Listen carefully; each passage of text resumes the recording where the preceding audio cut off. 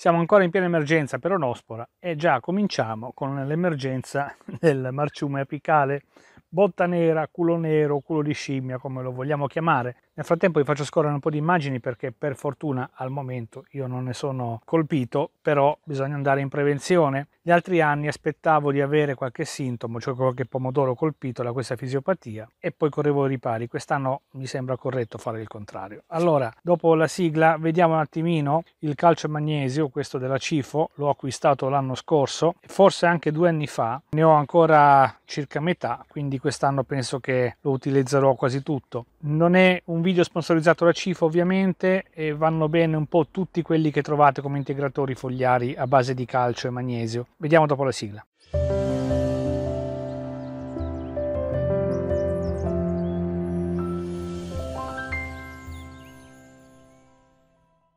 Rieccoci sul canale. Allora, il pomodoro a un certo punto matura più velocemente degli altri, non ci accorgiamo che la parte sotto è in marcia e pensiamo di avere qualche frutto pronto per essere mangiato a tavola, invece no, lo raccogliamo, lo giriamo, vediamo che la parte sotto è nera, prima diventa molliccia, poi in uno stadio avanzato necrotizza, diventa duro e quindi il pomodoro lo buttiamo via. Cosa fare in questi casi e perché succede? Allora, non è una malattia, è una fisiopatia del pomodoro, succede perché c'è poco calcio nel terreno oppure il calcio c'è ma la pianta non è in grado di prelevarlo dalle radici. Questo può avvenire perché le irrigazioni sono irregolari, magari irrighiamo un giorno sì e tre no, tutti i giorni e poi ne saltiamo qualcuno, bombe d'acqua che eh, inondano il terreno, lo dilavano e quindi noi per qualche giorno non diamo più da bere alle piante e questo non gli fa assolutamente bene. Occorre una certa regolarità e ovviamente ci vuole un terreno sano. I gusci delle uova messi in inverno non servono assolutamente a niente, quindi bisogna agire con eh, concimazioni specifiche a base di calcio se il terreno è carente da questo punto di vista.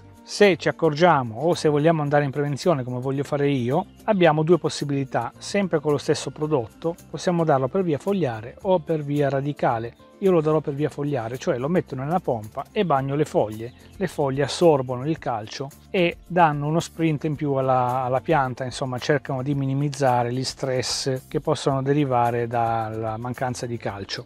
Allora, nello specifico questo il Calcisan Green della Cifo non c'è scritto da nessuna parte che ha messo in agricoltura biologica eh, quindi l'ho acquistato come vi dicevo due anni fa e me lo ritrovo. Questo oltre al calcio e al magnesio ha anche il boro dentro e estratti di alga macrocistis. Insomma è un prodotto abbastanza completo. Lo si può dare sugli ortaggi che hanno questo tipo di problema come appunto i pomodori che soffrono, possono soffrire marciume apicale, disseccamento dell'arachide della vite, butteratura del melo, necrosi delle brattee della poinsettia, cioè lo si può dare anche sulla stella di Natale. Rende le bucce dei frutti più resistenti alle crepe e agli spacchi che avvengono dopo un sole intenso e piogge consistenti, i pomodori si spaccano quindi questo dà qualcosa in più come resistenza. Dosi nel mio caso sono 4 ml per litro allora ho 10 litri, non ne do moltissimo, quindi 40 ml. Lo do stasera per il semplice fatto che avrei dovuto fare il primo trattamento con la zeolite e con il tannino di castagno, li mischio insieme. Se mi state seguendo per un po' sapete che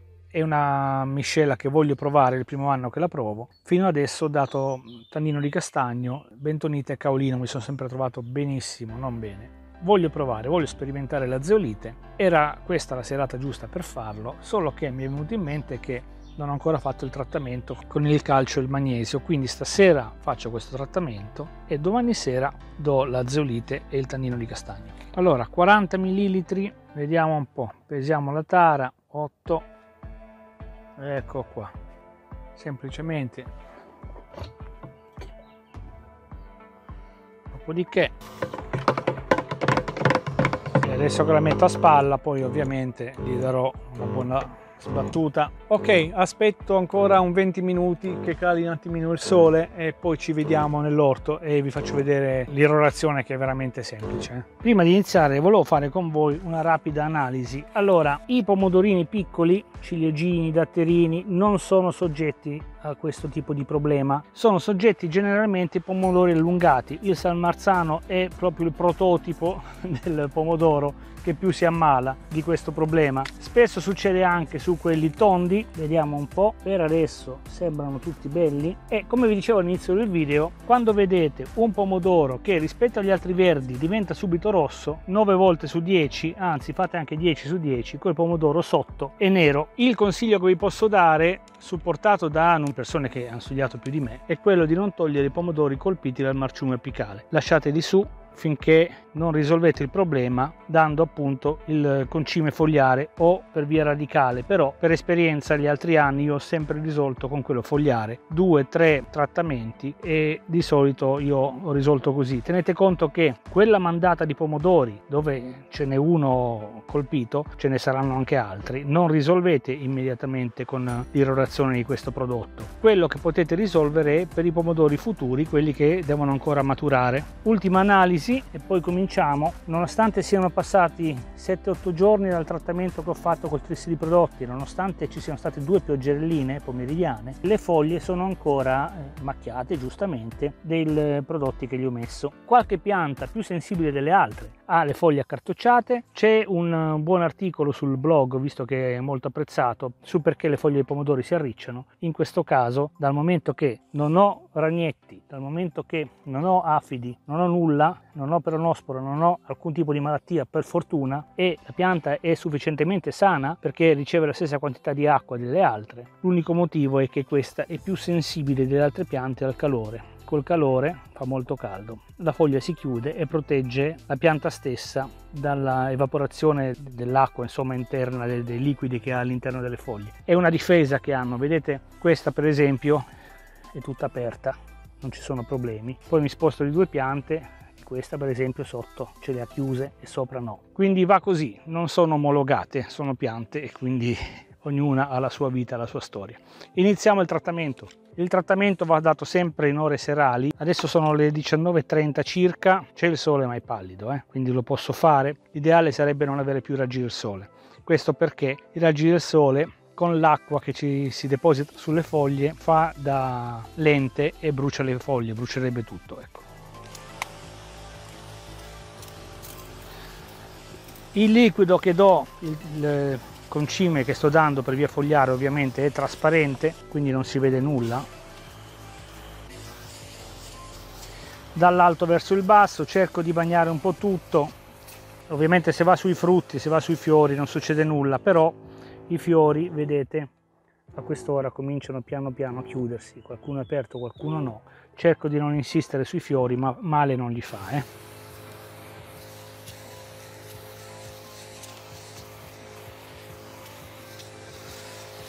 Anche se sui datterini, sui ciliegini non ci sono problemi di marciume apicale, lo do ugualmente perché rinforza la struttura stessa, la buccia del pomodoro, quindi tende a spaccarsi di meno, come vi dicevo prima.